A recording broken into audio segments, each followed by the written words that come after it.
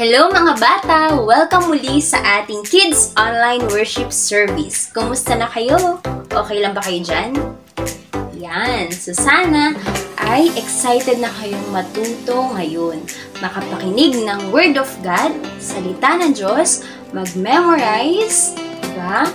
At uh, sumayaw, kumanta, at gumawa ng arts and crafts. Ayan. So, kung ready na kayo, ihanda natin ang ating mga sarili. Tayo ay manalangin muna. Tayo tayo mga bata at sumunod kay Teacher Lovely.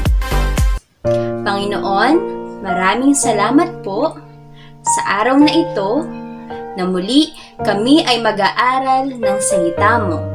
Salamat po sa bawat isa na makakapakinig ng iyong salita.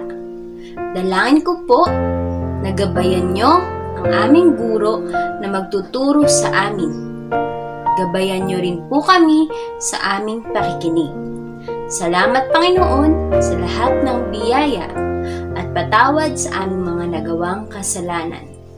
Ito po ang aming panalangin sa pangalan ni Jesus. Amen. Ayan. So, Welcome muli sa Gospel Coalition Church, ang ating uh, panonood ngayon ng Kids Online Worship Service. So, hello mga bata sa mga taga P. Alcantara, taga San Pablo, yan, San Gabriel, Nagcarlan, at sa iba pang mga lugar dito sa atin. At kung sino pang mga bata ang nakakapanood. So, welcome po. At uh, binabati ko rin ng happy, happy birthday ang lahat ng mga May Celebrants. So, mayroon kayong kakilala na nagdiriwang na kanilang kaarawan. Ngayong buwan ng Mayo, batiin niyo sila ng happy, happy birthday. Ayan. So, dahil ano bang date ngayon? Ngayon ay May 8. So, dahil ngayon ay May 8, ang ating susunod na Kids Online Worship Service ay sa darating na May 22. So, kailan ulit ang ating Kids Online Worship Service? May 22. So, i-mark nyo na ang inyong calendar. So, tayo ay mag-aaral muli ng salita ng Diyos sa May 22.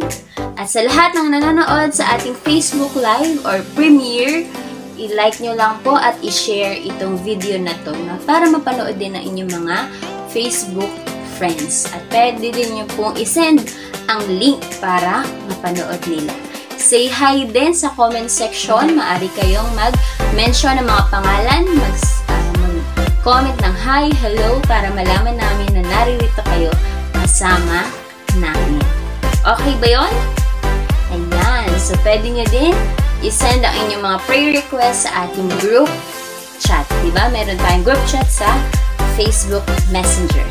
Okay, kids? So, thank you so much.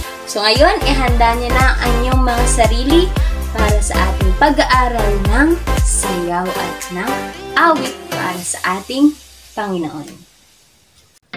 Ayan, kids! So, ngayon naman, pupunta tayo sa ating song and dance. Ang title ng kanta natin ngayon ay Hope in My Heart. So, sa Tagalog, yung pag-asa na nasa ating puso. Pero sino ba nagbibigay ng pag-asa sa atin? So, ang nagbibigay ng pag-asa sa atin ay ang Panginoong Diyos. Diba? Sa mga pagkakataon na hindi natin kontrolado ang mga bagay-bagay, ang Diyos lang ang nagbibigay ng pag-asa sa ating puso.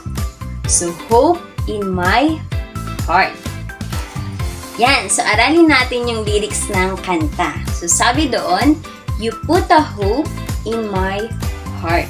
So yung you, ang tinutukoy natin ay ang Panginoong Diyos. You put a hope in my heart dahil nga ang Diyos ang nabibigay ng pag-asa sa atin. Sabi, I can't stop clapping. So yung pagpupuri natin sa ating Panginoon.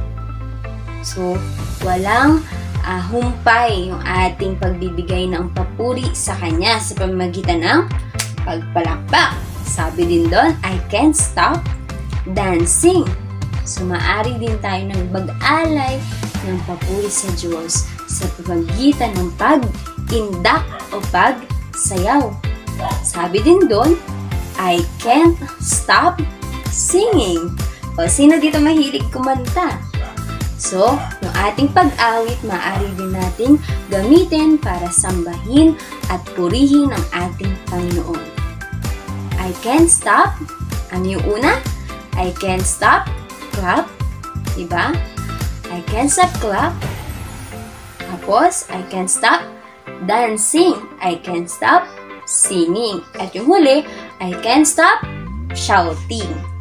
So, dahil ang Diyos na nagbibigay ng pag-asa, God puts hope in our heart, kaya naman, hindi tayo magsasawang sumigaw na, God, you are good. Sabihin nyo nga, God, you are good. Ang Diyos ay mabuti. So, yun ang unang lyrics.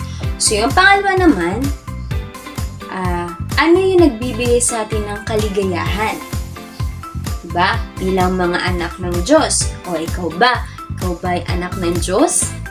So, nagbibigay daw ng kaligayahan sa ating puso ang pananalangin. So, sabi doon, praying makes me happy. Sabi nyo nga, praying makes me happy. Hindi lang pananalangin. Sabi din doon, remembering makes me happy. Ano ba yung nire-remember natin? Ang ating tinatandaan ay ang ang salita ng Diyos. Remembering makes me happy. At ano pa? Obeying makes me happy. So praying, remembering, and obeying makes us happy. Sabi dun sa kanta. Dahil ang Diyos ang nagbibigay ng tunay na pag-asa sa ating puso. Kaya dapat ilagak natin ang tiwala sa ating Panginoon o ibigay natin ang pagtitiwala sa Kanya. Natandaan niyo ba? Hindi tayo titigil sa pagpalakpak, pagsayaw, pagkanta, at pagsigaw na ang Diyos ay mabuti. Gagawin nating manalangin, tandaan ang salita ng Diyos, at sumunod sa Kanya. Okay kids, so ngayon naman aralin natin yung steps ng kanta. So sabi doon, You put a hope in my heart. So kapag sinabing you put a hope my heart, ilalagay lang natin yung ating dalawang kamay sa ating puso. Yan. You put a hope in my heart. Tapos, I can't stop clapping. Yan. Papalakpak lang tayo. Tapos, you put a hope in my heart. I can't stop dancing. So, sasayaw kayo dyan.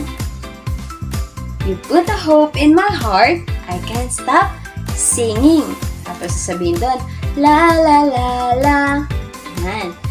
You put a hope in my heart, I can't stop shouting. God, you are good. Yan. Yun naman ang ating isisigaw. You put a hope in my heart, I can't stop clapping. Yan, palakpak. Put a hope in my heart, I can't stop dancing. Sayo lang. Put a hope in my heart, I can't stop singing. Ganito pala. La la la la. Put a hope in my heart, I can't stop shouting. God, you are good. Yan. So, habang nag-beat, so, Ganyan-ganyan lang tayo. Tapos, yung sunog na lyrics, Praying makes me happy. Remembering makes me happy. Obeying makes me happy. You give me hope. Ayan. So, you give me hope. Tataas naman natin yung ating kamay ng ganyan. So, nakuha nyo ba? Very good.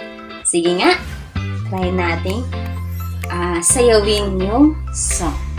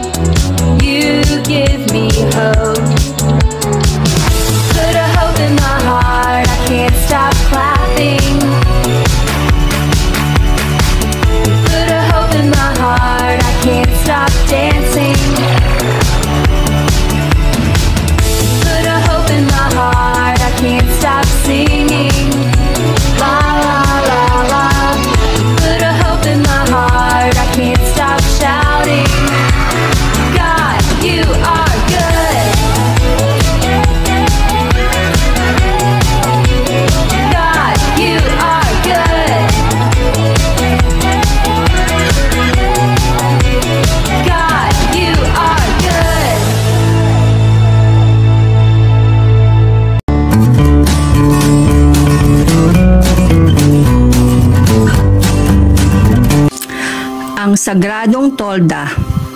Exodo 34 to 40. Inutusan ng Diyos si Moises na tumapyas ng dalawang bato kagaya noong una. Iniakyat ni Moises ang mga tapyas ng bato sa bundok ng Sinai. At minsan pa'y nanatili si Aaron sa loob ng apat na pung araw at gabi. Muling ibinigay ng Diyos ang kanyang mga kautusan kay Moises. At isinulat ni Moises ang mga ito sa mga tapyas ng bato. At muling nakipagtipan ang Diyos sa bayan ng Israel. Pagbaba ni Moises sa bundok, sinabihan niya ang mga Israelita na magdala ng mga kaloob sa Diyos. Ang mga ito ay gagamitin sa paggawa ng tolda ng presensya ng Diyos, ng mga gamit sa tolda, at ng mga damit ng mga saserdote na maglilingkod sa Kanya. Kusang loob na nagdala ang mga tao ng mga mamahaling bagay. Nagbigay sila ng mga hikaw, singsing, kwintas, at lahat ng uri ng alahas na yari sa ginto. Naghandog sila ng magagandang tela at balat. Nagkalob sila ng pilak, tanso, at akasya.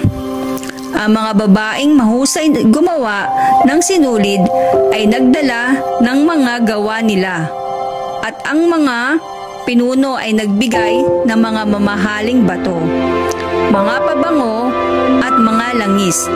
Lahat ng may nais ay nagdala ng maaari nilang ibigay kay Yahweh.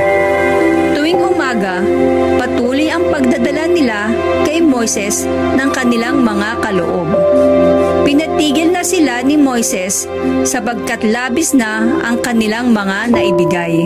Pumili ang Diyos ng mahuhusay na manggagawa upang gawin ang kanyang tolda. Ayon sa pag-uutos ng Diyos, ginawa nila ang tolda ng presensya ni Yahweh gamit ang kahoy, mamahaling tela, tanso, pilak at ginto. Gumawa rin sila ng kaban ng tipan mula sa kahoy na binalot ng ginto. Sa takip ng kaban ay may dalawang gintong anghel na may pakpak.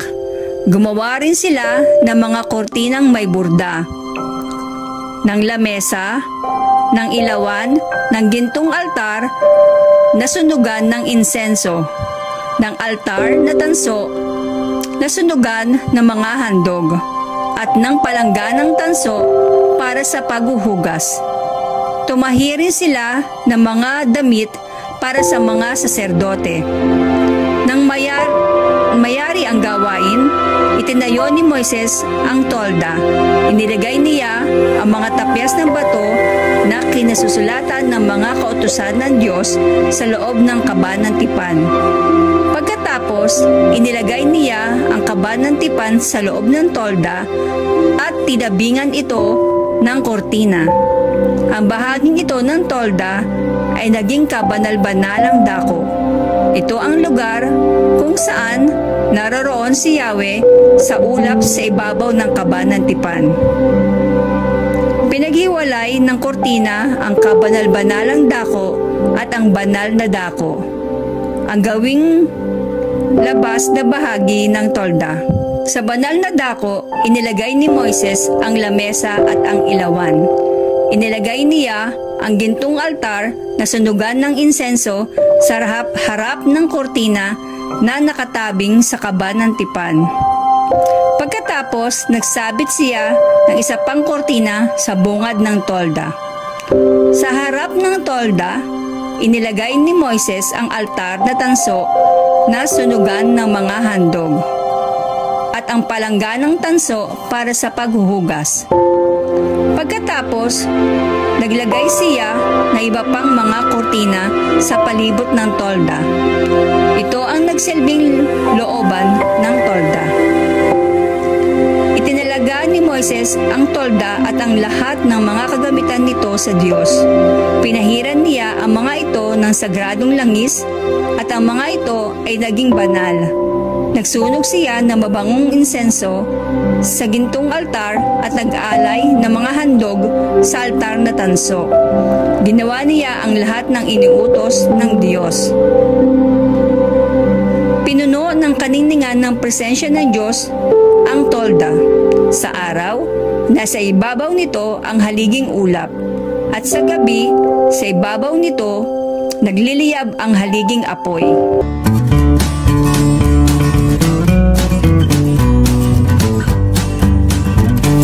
Kids, ah, nakinig ba kayong mabuti sa kwento natin kanina?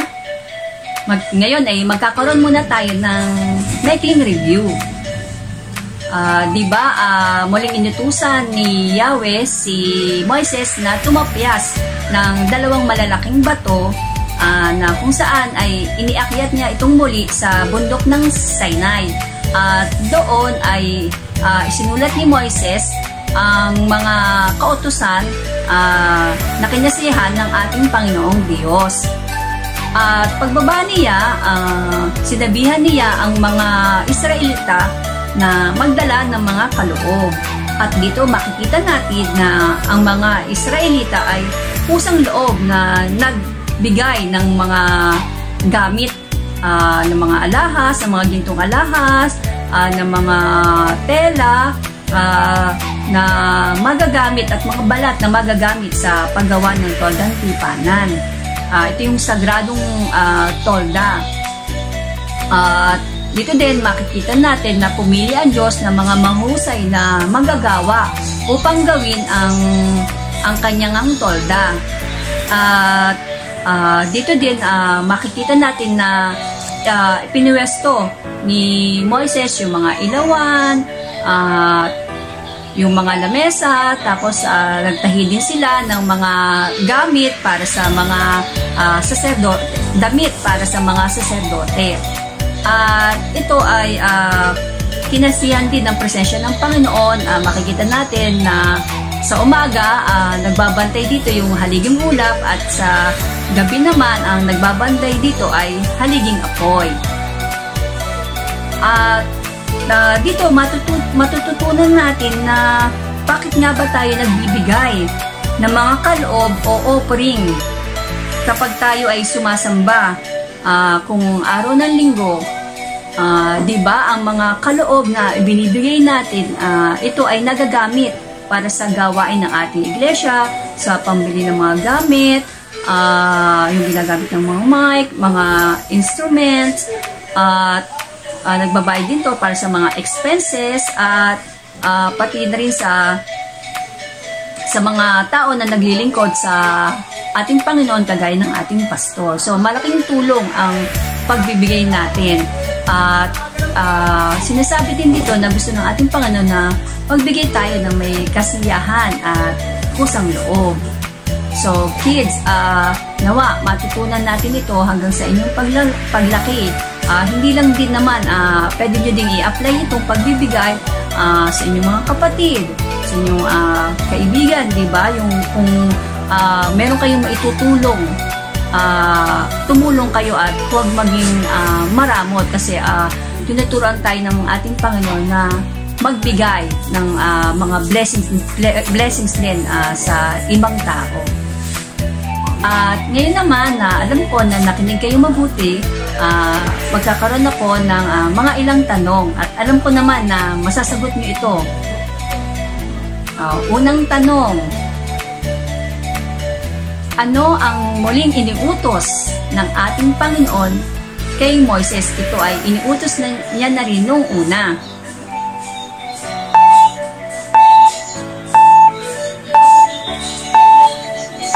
Iniutos ng ating Panginoon na si Moises ay tumapyas ulit ng dalawang malalaking bato. Number 2. Saan iniakyat ni Moises ang dalawang malalaking batong ito?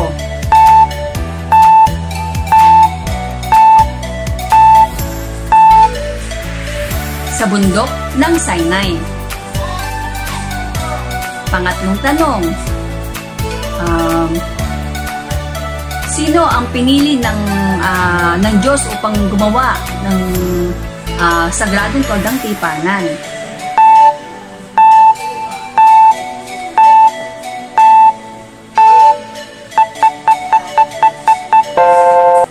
Pumili ang Diyos ng mga mahuhusay na manggagawa. Pang-apat na tanong. Saan inilagay ni Moises ang mga tapyas ng bato na kung saan ah, dito nakalagay yung mga utos ng ating Panginoon na kanyang kinasnian?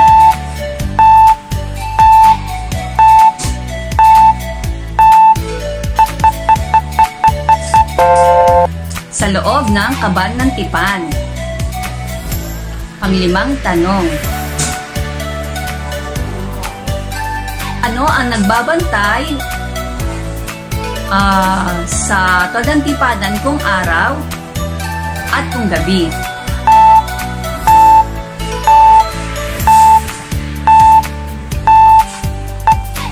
Kung araw, ah, meron itong nagbabantay na haliging, ap, ah, haliging ulap at kung gabi naman ay haliging apoy.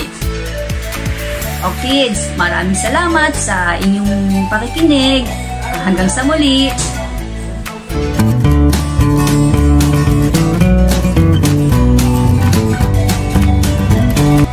Ngayon naman ay sabay-sabay tayong mag-aral ng memory verse na kung saan ah, natutunan natin dito na ang mga Israelita ay kusang loob na tumulong at naghandog kay Yahweh ng mga bagay na meron sila upang magawa ang sagradong todang tipanan. So, ito na yung verse ha. Ito ay makikita sa ah, lumang tipan sa Exodus 35:21a.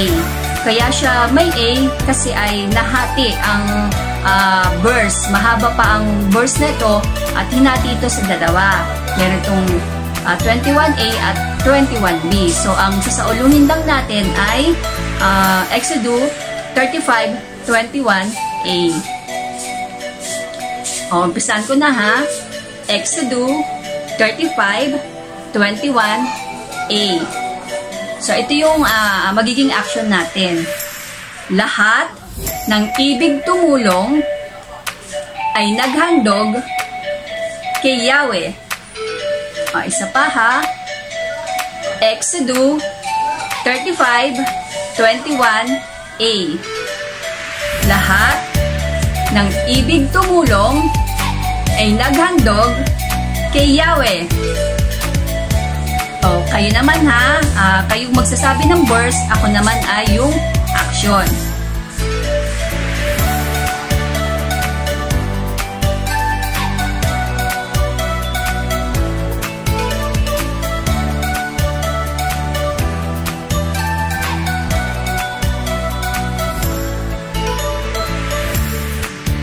O ngayon naman, sabay-sabay nating ulitin. Exodus 35:21a. Lahat ng ibig tumulong ay naghandog kay Yahweh. Exodus 35:21a.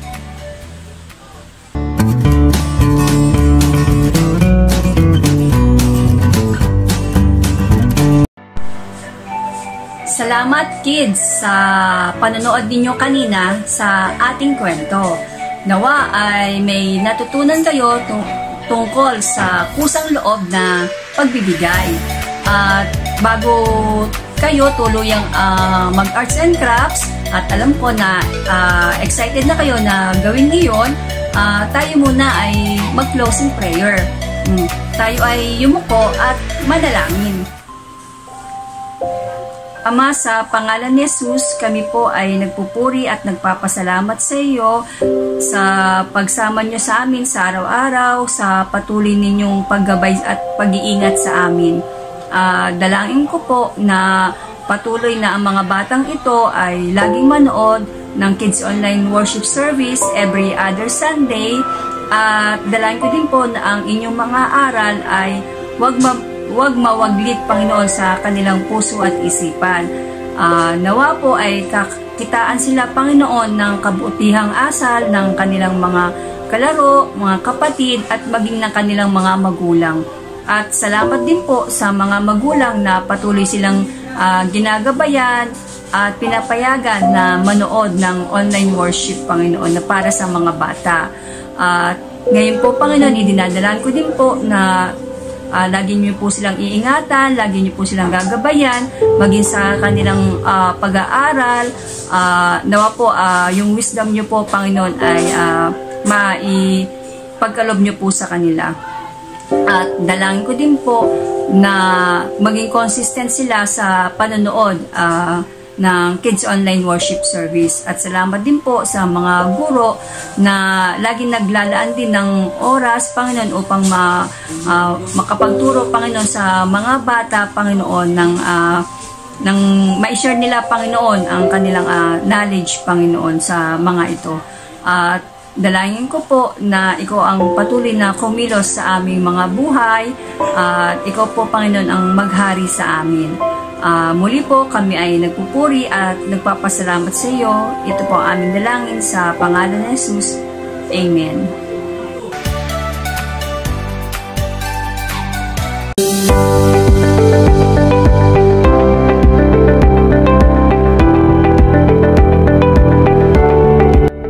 Hello mga bata! So ngayon naman, darako tayo sa ating arts and crafts. So ready na ba kayo? Yan, so ihanda natin ang mga materials. Kailangan natin ng dalawang bond paper o typewriting, glue o paste, kahit anong pandikit. Kailangan din natin ng tatlong kulay ng crayons. Yan, so kailangan natin ng brown, ng red, at ng green. At kailangan din ng ballpen o kaya ay marker para sa pang-drawing. At syempre ang gunting. So kailangan natin mag-ingat sa paggamit ng gunting. So sige, umpisahan na natin. Yan. So kailangan natin ng isang typewriting, marker, or ballpen. So, gagama lang tayo ng shape. Ayan. So, gayahin nyo lang yung nakikita nyo sa screen.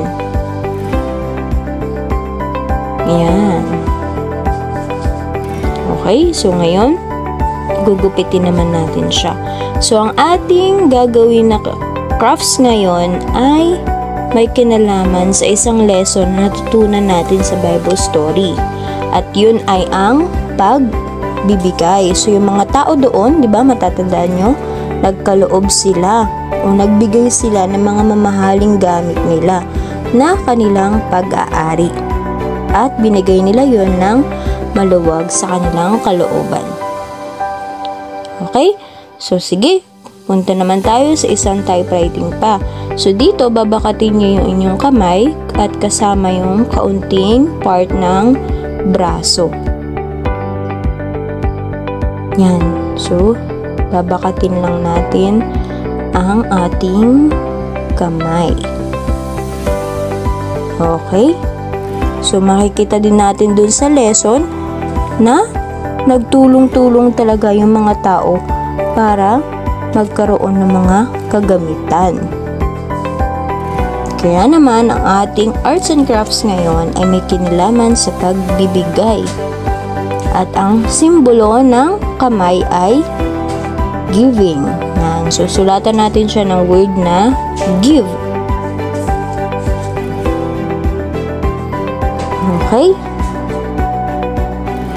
So, mayroon tayong limang daliri dyan. So, ano ba yung gusto nating ibigay sa ating Diyos? So, hindi lang mga material na bagay ang pwede nating ibigay o ipagkaloob. Hindi lang pera, pwede din yung time. Yan, sulat natin.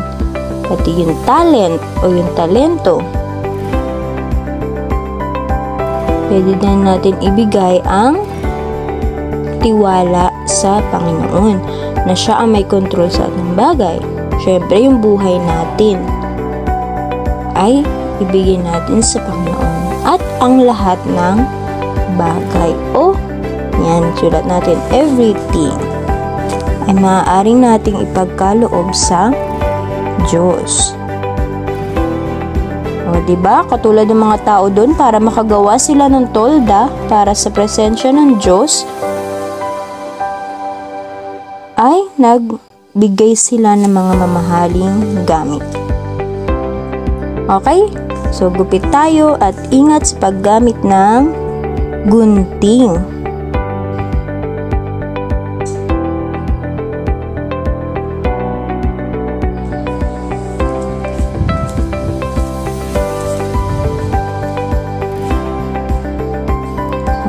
Okay. Ang pagtulong ay napaka buting gawain, lalo na kung ito ay inihahandog natin sa Panginoon. Okay? So, yung kamay at braso ang magsisilbing trunk ng puno. So, yung una nyong ginupit kanina, mapapansin nyo siya yung pinaka mga uh, leaves. So, yan, dikit lang natin pinaka trunk ng puno o pinaka katawan. Yan. So, buo na yung ating tree. Pwede natin siya tawaging tree of giving. Ito, ang color brown. So, ano ba ang kulay ng trunk ng puno? So, color brown. So, medyo malabo lang sa video.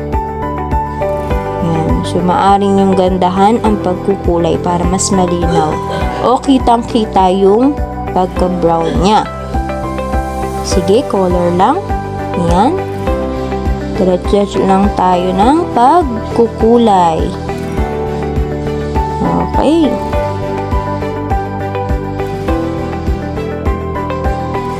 So, gandahan natin ang pagkukulay. At syempre yung puno ay merong bunga. So, ano naman yung binibigay natin, meron siyang magandang kinahinatnan o magandang bunga. So, kapag nagbibigay tayo, hindi lang mang sa gawain ng Panginoon, nagbibigay din sa uh, mga kapwa natin, di ba? May maganda siyang bunga. Okay, color din ng mga dahon ay green. Yan. So, kulay lang tayo ng color green. Kulay, kulay, kulay.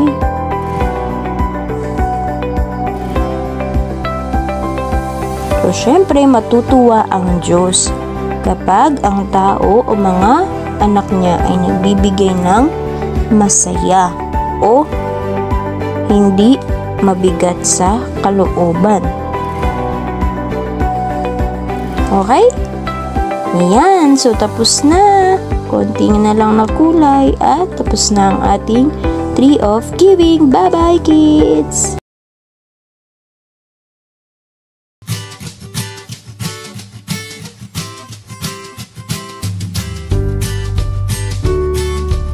GCC Gospel Coalition Church. Our mission is to glorify God by proclaiming the gospel until we all attain the whole measure of the fullness of Christ, sharing Christ, changing lives.